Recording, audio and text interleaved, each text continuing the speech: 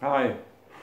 Uh, this video I'm going and discussing uh, the connecting inversions of the previous video that I made and uh, I'll start right away with um, explaining um, what I'm going to do. Uh, I'm playing in the fifth position now and uh, actually uh, using the same concept and um, the chords that I'm using here to comp also fall in the fifth, fifth position. So this is D minor.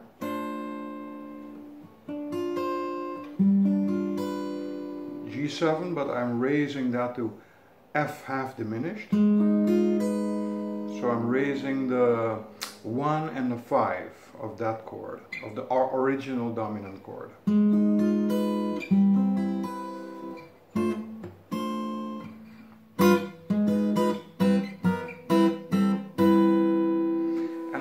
Possibility is a drop 2 voicing here, D minor 7. And I'm playing uh, G7 like this. And also raising the 5 and the 1, getting this chord. So that's also a good possibility.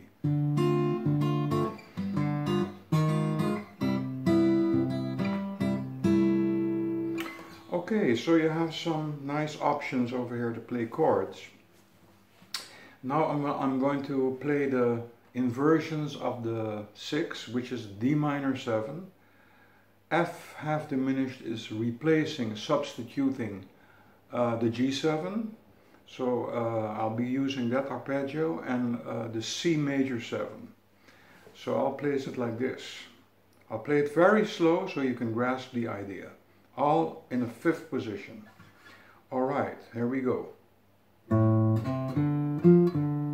starting on five.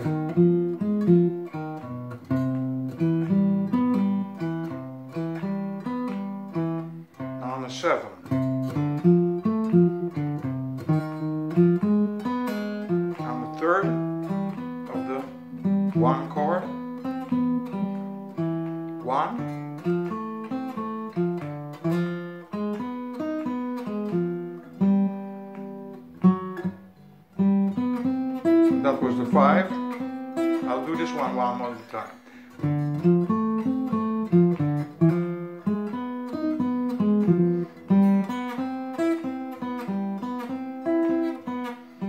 First inversion on F.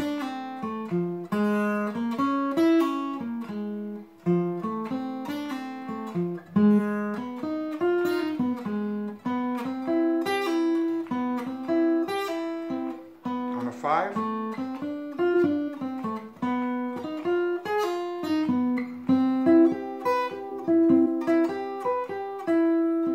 Seven.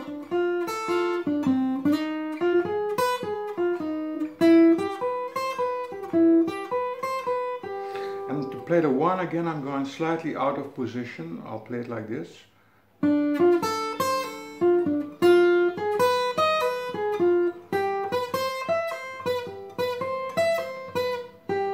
And again, if you want to study uh, each uh, melodic form, uh, with inversions, you could play freely and put in one that you like. I like this one, uh, starting on the 5.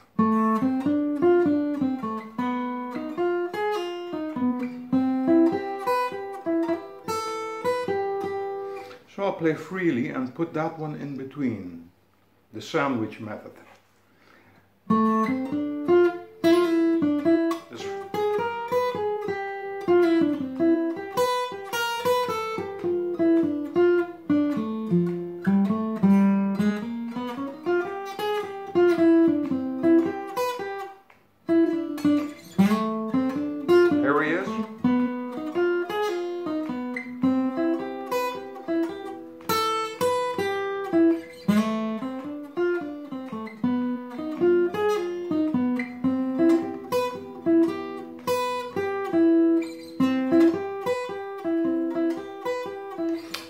But you could choose any of the uh, forms that I practiced just now and put them in between your free improvisa improvisation and use them in that way and they'll come in your mind very well because it's the idea that new information is put in into old information and will adapt faster.